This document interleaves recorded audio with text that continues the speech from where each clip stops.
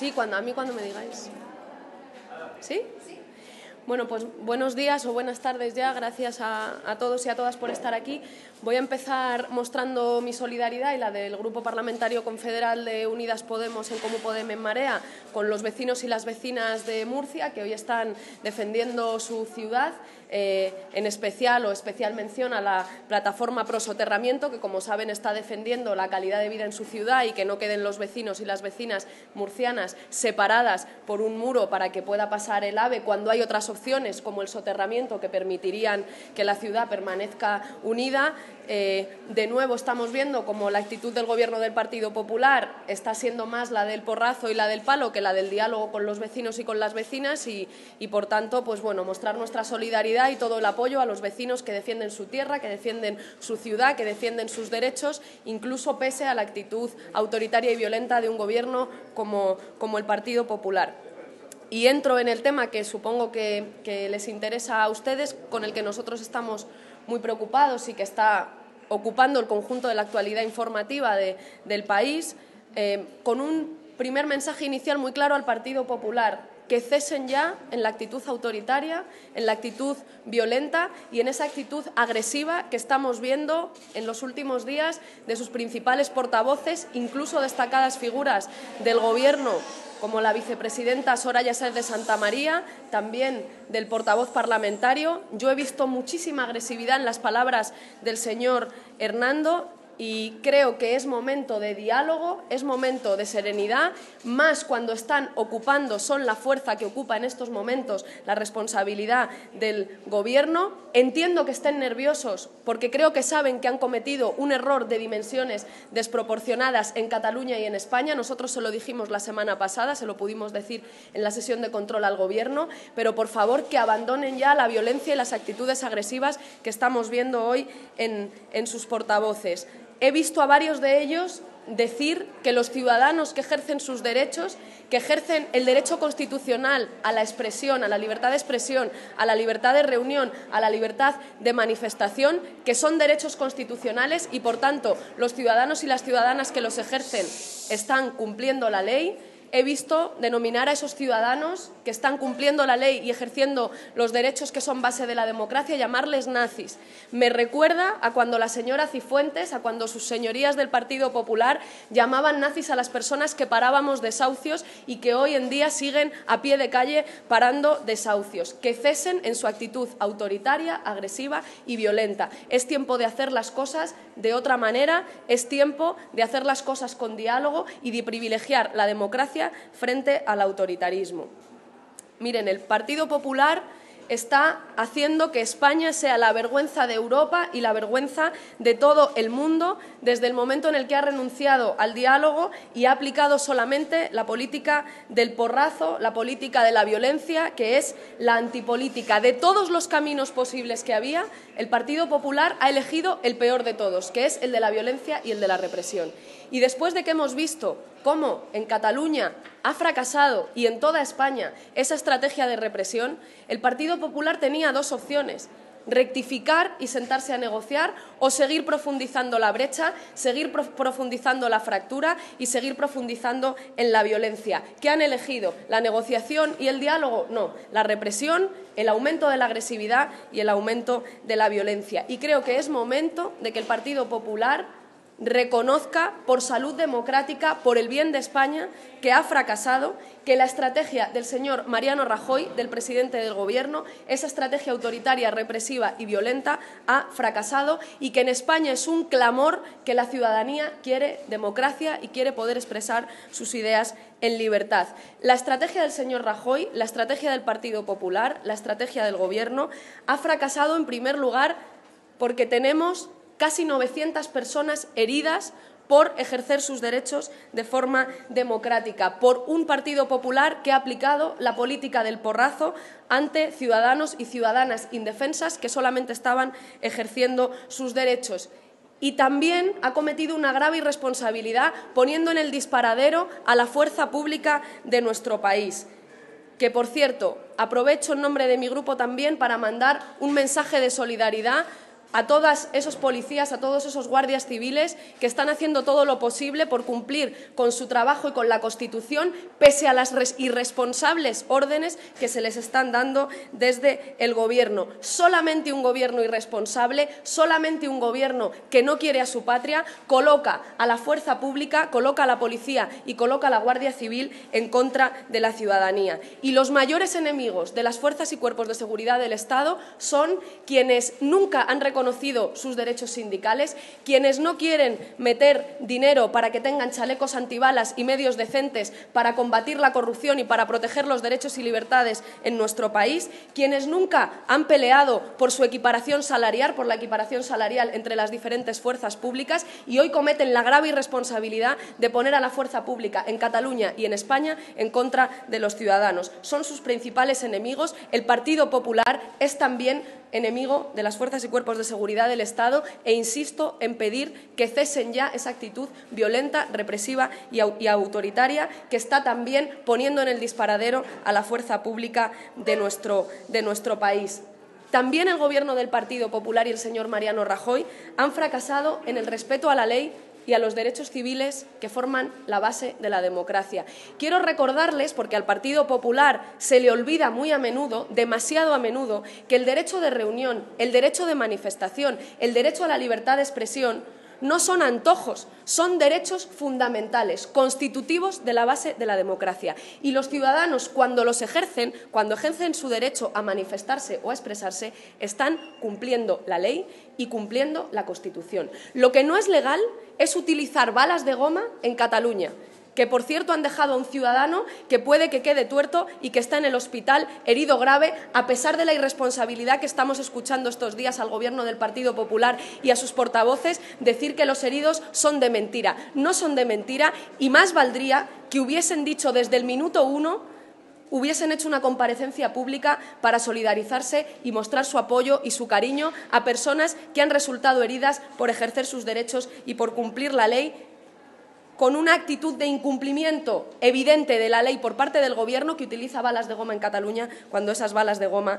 están, están prohibidas. Insisto, es el Partido Popular y no la ciudadanía quien está muy acostumbrado a vivir fuera de la ley. Y aprovecho para recordarles otra noticia. Hoy el Tribunal de Estrasburgo ha dicho que las devoluciones en caliente que han sido de forma reiterada defendidas en esta Cámara, en la sede de la soberanía popular, por parte del Gobierno de Mariano Rajoy por el señor Zoido, que las devoluciones en caliente, lo dice Europa, no lo dice mi grupo parlamentario, son ilegales. La diferencia es que las, ilegalidades que comete el Partido Popular las pagamos del bolsillo de todos los españoles y de todas las españolas, porque hacer devoluciones en caliente, que dice Europa que son ilegales, puede costarnos una multa a España que va a salir del dinero de todos los españoles.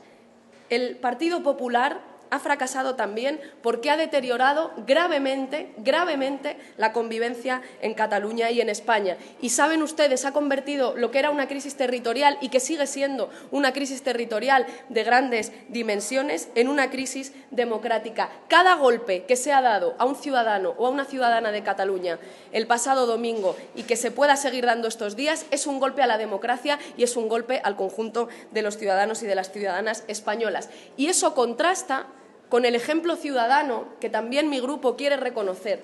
Ese ejemplo de la vía pacífica, de la vía dialogada, ciudadanos que ejercen sus derechos, que cumplen la ley, que quieren expresarse, que dicen alto y claro que en el siglo XXI en España, que en una democracia no hay nadie que pueda callar la voz de la gente. Mi reconocimiento y el reconocimiento de mi grupo a todos los miles de ciudadanos y ciudadanas que están saliendo a la calle a cumplir la ley, ejerciendo sus derechos constitucionales y defendiendo la democracia y también a los servicios de emergencia, a los bomberos que están realizando una labor de mediación y de defensa de la democracia frente al autoritarismo del PP que merece el mayor de nuestros reconocimientos. Y les decía antes, también ha fracasado, y es prueba evidente, que el Partido Popular ha sido el que con más evidencia ha internacionalizado el conflicto, convirtiendo a España en una vergüenza para el conjunto del mundo, trasladando una imagen de España autoritaria, violenta, represiva, cuando España y Cataluña somos naciones de paz, de convivencia, de fraternidad. Cuando nuestras ciudadanías quieren democracia y convivencia, el Partido Popular internacionaliza este conflicto, convirtiéndonos en una vergüenza para el conjunto del mundo y trasladando una imagen autoritaria y represiva que España no se merece. El presidente del Gobierno está expulsando a Cataluña fuera de España, pero también está expulsando a España fuera de Europa y fuera del marco de las democracias occidentales. Y, en definitiva, el Partido Popular no tiene una propuesta política, ni para Cataluña ni para España.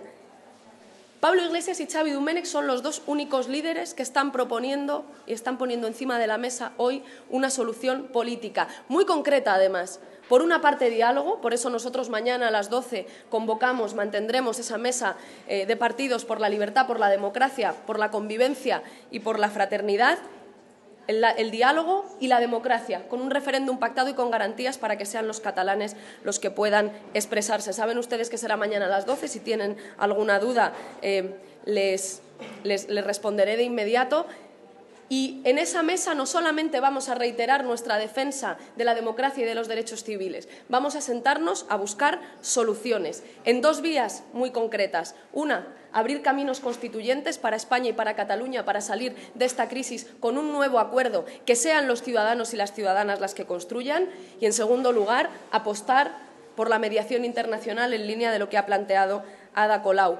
También la alcaldesa de Barcelona. También Saben ustedes, llevamos semanas pidiendo la comparecencia urgente del presidente del Gobierno, de Mariano Rajoy. Hoy hemos hablado de ello en la Junta de Portavoces. Esa comparecencia no se ha podido producir porque el Partido Socialista se negó en su momento. Nosotros hemos pedido que sea esta semana y creemos que no hay que esperar a que pasen más cosas. Las horas, los minutos en estos momentos cuentan y son oro y por tanto creemos que es urgente que el presidente de Gobierno comparezca esta semana ante el Congreso de los Diputados, ante la sede de la soberanía nacional, para encontrar soluciones.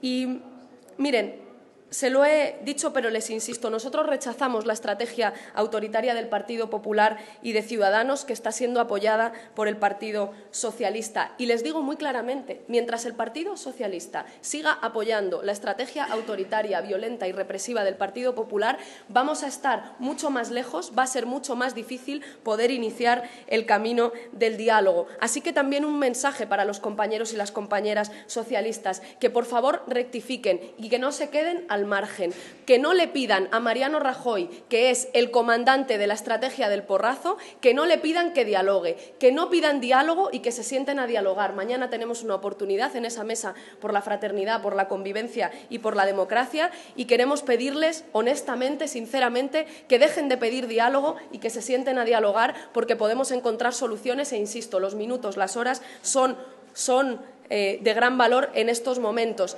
Y termino con un mensaje más claro aún si cabe. El momento que vivimos es de extremada gravedad y de extremada urgencia y es urgente encontrar soluciones.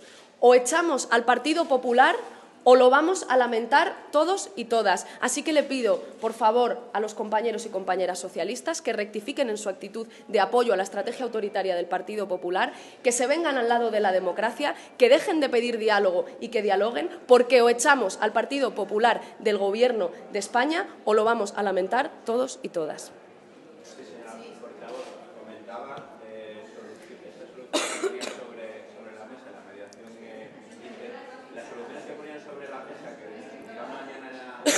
La mediación internacional. Se refería a la mediación internacional, eh, quién o qué actor y qué características debería reunir y sobre la cuestión eh, constituyente en qué, se centraría, cómo se concreta. ¿Un cambio de modelo territorial es posible hacerlo sin el, sin el PSOE o vamos a unas, unas elecciones plebiscitarias de, cambio de constitución aquí en España? Les anunciaba las líneas en las que estamos trabajando, que las reflejaba muy bien, por una parte esa mediación internacional para tratar de, fortalecer esa vía del diálogo frente a la vía de la confrontación, de la agresividad y de la violencia y la, posibilidad de plantear horizontes constituyentes para Cataluña y para España que nos permitan refundar los consensos que ahora mismo están en quiebra, no porque los ciudadanos los hayan quebrado, sino porque el Partido Popular, con su actitud, los ha quebrado desde hace mucho tiempo. Las propuestas concretas en las que les han informado, les hemos informado ya, Xavi Domènech y Pablo Iglesias llevan trabajando desde ayer, hablando con diferentes expertos, con las formaciones políticas, vamos a trabajarlas en esta mesa. Nosotros estamos trabajando en algunas y me permitirán que esperemos a mañana para planteárselas primero a, a las diferentes formaciones políticas y personas que vengan a esa mesa y también escuchar sus propuestas. Quiero decir con esto que nos dejen trabajar un poquito más para concretarlo y para aterrizarlo y que, será mañana cuando lo hagamos y cuando les podremos informar de todo ello en, la, en las comparecencias que haremos después de, de la rueda en esa misma línea. Vamos a ver, eh, estamos trabajando en ello y mañana les podremos dar más información, también una vez escuchados a todas las formaciones políticas y representantes que participan de, la mesa. Y perdonad que tengo que beber agua, que estoy enferma. decidme, decidme que no. Quería preguntarle qué le parece que, el PSOE eh, anuncie que va a pedir la reprobación de la vicepresidenta y si ustedes se van a sumar a esa reprobación, también saber si su grupo condena el acoso Eh, por, orden de, las preguntas y gracias por hacerlas. En primer lugar, sí, nosotros apoyaremos eh, la reprobación de la vicepresidenta. Eh, creemos, no obstante, que el máximo responsable de lo que ocurrió el 1 de octubre en Cataluña y en España es el señor Mariano Rajoy como presidente del Gobierno, que no tuvo o tuvo más bien la indecencia de salir a dar declaraciones sin preguntas, justo cuando la ciudadanía se estaba haciendo más preguntas, y que no tuvo ni una palabra de cariño, de reconocimiento para los casi 900 heridos, y apoyaremos esa reprobación, pero vamos a tener una buena colección de ministros y ministras reprobadas en este Parlamento que creo que al Partido Popular le importan más bien poco. Si el Partido Socialista quiere reprobar de verdad y no solamente a medias, el mecanismo es la moción de censura. La única reprobación sensata que Pedro Sánchez puede hacer ahora mismo es encabezar una moción de censura. Y reitero desde aquí que mi grupo parlamentario, el Grupo Parlamentario Confederal de Unidas Podemos en Comú Podem en Marea, estaría más que dispuesto a apoyar esa moción de censura que Pedro Sánchez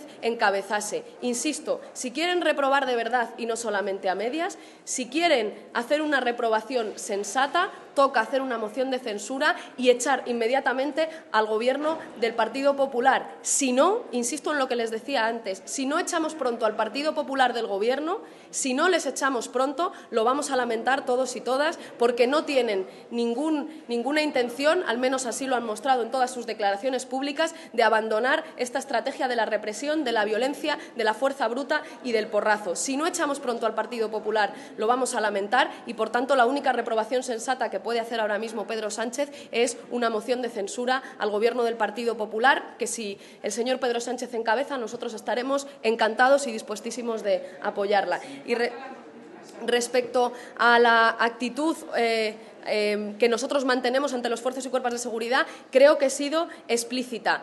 A mí me duele mucho, como española, ver lo que está ocurriendo estos días con la fuerza pública de nuestro país. Me duele enormemente. Y me duele enormemente también que haya 900 personas heridas, casi 900 personas heridas, algunas de ellas de gravedad, por unas órdenes irresponsables que está dando el Gobierno del Partido Popular. Por tanto, lo que condeno firmemente es la irresponsabilidad del Partido Popular que está poniendo a la fuerza pública de este país en el disparadero, haciendo que entren en confrontación con la ciudadanía.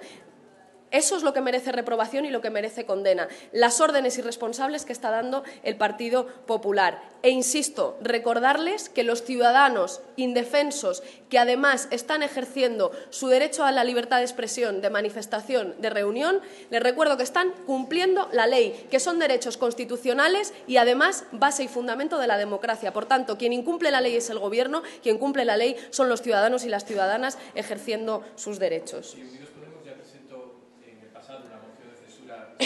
sin el acuerdo con el Partido Socialista, que está además en un proceso interno. Eh, mi pregunta es muy sencilla. ¿Descartan ustedes eh, presentar ahora una moción de censura, eh, dado que la situación es mucho más grave y más difícil que entonces? Ustedes saben que nosotros siempre vamos a estar dispuestos a utilizar cualquier herramienta parlamentaria y cualquier ejercicio de derecho democrático del que nos hemos dotado para sacar al Partido Popular de las instituciones, porque se hace como bien decía usted, comparto la premisa de la pregunta, se hace cada vez más urgente sacar al Partido Popular de las instituciones. Eso sí, sabemos que para que una moción de censura salga adelante, el Partido Socialista tiene que estar de acuerdo. A mí me alegra que hoy hayan planteado que hay una responsabilidad del Gobierno en la violencia salvaje que vimos el 1 de octubre en Cataluña. Me alegra que lo vean, pero creo que con una reprobación no es suficiente. Una reprobación para que sea de verdad y para que sea sensata tiene que ser una moción de censura que les saque, que tenga efectos inmediatos y no solamente efectos que al Partido Popular le importan más bien poco a la vista de los acontecimientos. Ya hay varios ministros reprobados, de hecho, y para el Partido Popular es lo mismo que nada. Así que la única reprobación de verdad y la única reprobación sensata que Pedro Sánchez puede efectuar en este momento es encabezar una moción de censura. E insisto, contarían con nuestro apoyo, respondiendo también a su pregunta, contarían con nuestro apoyo, con el apoyo de mi grupo confederal y estoy convencida de que los números. Eh, salían antes, pero con más evidencia salen ahora para echar al Partido Popular del Gobierno.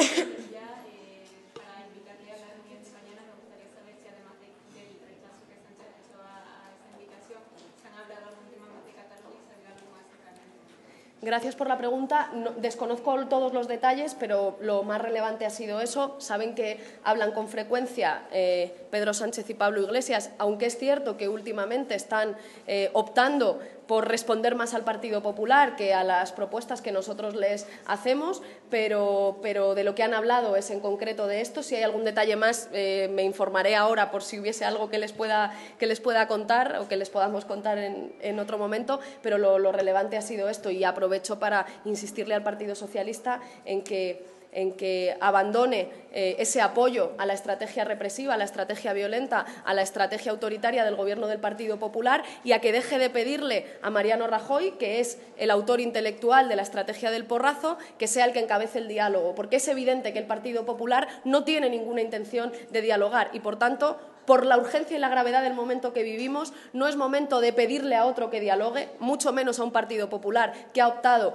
por el barranco de la estrategia del palo, de la estrategia del porrazo, de la estrategia represiva, sino de ponerse efectivamente a dialogar, no pedírselo a otros, menos al PP, de ponerse a dialogar y mañana en la mesa por la fraternidad, por la convivencia y por las libertades tenemos una buena oportunidad para buscar soluciones a esta crisis democrática que estamos viviendo en Cataluña y en España.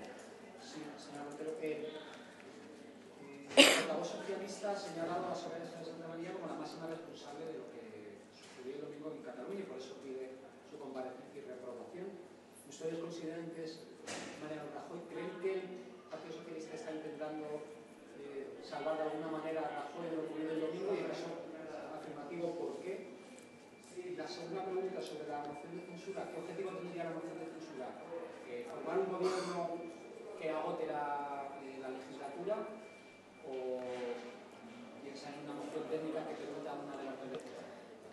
Rápido con las dos preguntas, gracias Aitor. Entendemos que la moción de censura tiene por objetivo sacar de inmediato al Partido Popular de las instituciones. Creo que sería sensato plantear que haya un Gobierno que esté en disposición de convocar unas elecciones, pero lo urgente es echar al Partido Popular. Insisto, es que si no, vamos a lamentarlo. Es que la estrategia autoritaria, la estrategia represiva, la estrategia de ataque a los derechos y libertades que el Partido Popular está imponiendo en Cataluña y en toda España, su incapacidad para hacer frente a una crisis política como la que estamos viviendo en este país y su incapacidad para escuchar, para rectificar, para pedir perdón, para preocuparse por los heridos, para escuchar a los ciudadanos y a las ciudadanas, que muchos de ellos no son independentistas, pero que están saliendo a la calle y están ejerciendo sus derechos democráticos porque no quieren verse humillados, porque la estrategia del Partido Popular está siendo la de humillar al pueblo de Cataluña, creo que eso merece que con urgencia les saquemos del Gobierno. Y, evidentemente, estamos dispuestos a hablar después, a mí me parece sensato que el Gobierno que de ahí saliese, eh, diciendo claramente que estamos dispuestos, eh, más que dispuestos, a apoyar a Pedro Sánchez encabezando esa moción, en el caso de que lo haga, eh, para, para, que fuese un gobierno que convocase unas nuevas elecciones. La otra pregunta que me hacía, ¿sobre qué era? ustedes señalan a Rajoy como máximo responsable. Sí. Si creen que que está intentando salvar de alguna manera el PSOE? Pregúntenselo al Partido Socialista. Nosotros compartimos que la vicepresidenta Soraya Sáenz de Santa María tiene responsabilidad en lo, que, en lo que ha ocurrido y mucha, es la vicepresidenta del Gobierno. Apoyaremos esa reprobación, pero creemos que el máximo responsable es, por supuesto, el presidente del Gobierno, que ante una crisis como la actual solamente está sabiendo emplear la estrategia del porrazo, la estrategia de la violencia y no es capaz de empezar ni siquiera un mínimo diálogo con la ciudadanía, ya no solamente con las instituciones, con la ciudadanía que está pidiendo a gritos ejercer sus derechos constitucionales. Por tanto, creemos que hay un responsable que es Mariano Rajoy, que es el gobierno entero del Partido Popular y por eso les insisto, nosotros apoyaremos esa reprobación de la vicepresidenta, pero creo que la única reprobación verdadera, la única reprobación sensata que Pedro Sánchez puede emprender en estos momentos es encabezar una moción de censura que saque a Rajoy y a todo el gobierno del Partido Popular del, gobierno de la Moncloa.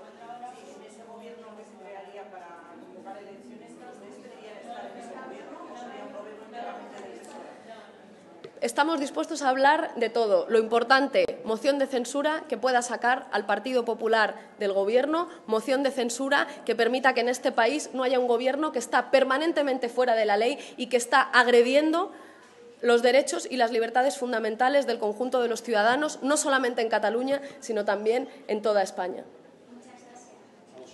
Gracias.